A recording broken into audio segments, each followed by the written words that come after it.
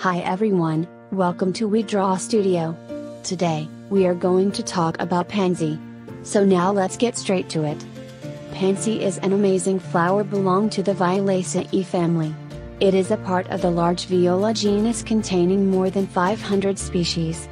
It has a scientific name of Viola tricolor hortensis or Viola x wittrockiana, characterized by five rounded, overlapping petals and a wide range of colors. Most pansies can grow up to 8 to 10 inches tall and are covered with oval or heart-shaped, dark green, shiny foliage.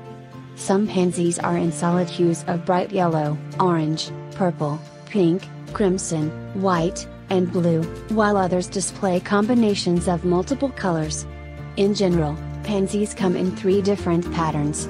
One variety has single color without patterns, which are often yellow or blue. The second pattern is a single color with black lines radiating from the center.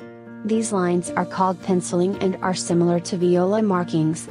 The last type is probably the most well known of pansy.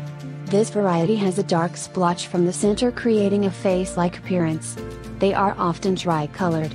Did you know that in the language of flowers, pansy represents the thoughts of lovers? The name pansy is derived from the French word pensée, meaning thought or remembrance. It was imported from France into late Middle English in the mid 15th century as a name of viola. The flowers were a symbol of thought in the Victorian era. Also, it was so named because the flower resembles a human face. In mid to late summer, it nods forward as if deep in thought. Furthermore, pansies are known by different names. Heartsease was given by the people from St. Euphrasia, whose name in Greek signifies the cheerfulness of mind. In countries like Scandinavia, Scotland, and Germany, pansies were called stepmother following the folktales of a selfish stepmother. In Italy, the pansy is known as flammola, which means little flame. Whereas in the US, pansies are often called Johnny Jump Up, as they tend to self-seed and can spread throughout the garden themselves. Did you know that not all pansies have a scent?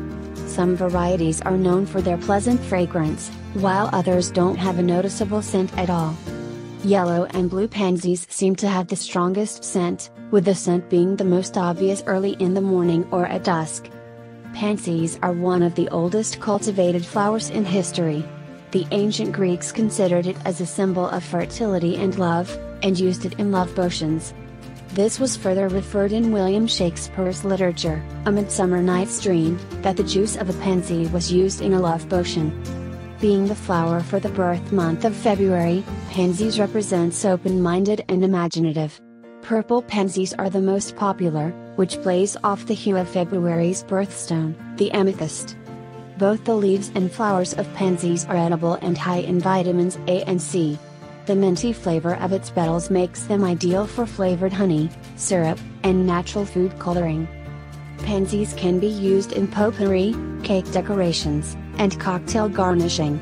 Also as topping over pancakes, sorbet, ice cream, and shaved ice. It is said that pansies contain antifungal and antibacterial properties that can be applied topically to ease skin irritation and inflammation such as eczema. In national home remedies, the flowers are steeped into teas and used to soothe coughs and sore throats. The teas also help to relieve frequent urination and clear up bladder infection. These days, pansies are still continually hybridized and crossbred to produce better, new varieties for the global market. Well, that's all for today and thanks for watching. If you like our video, please click the like and subscribe button below. We'll see you in the next video.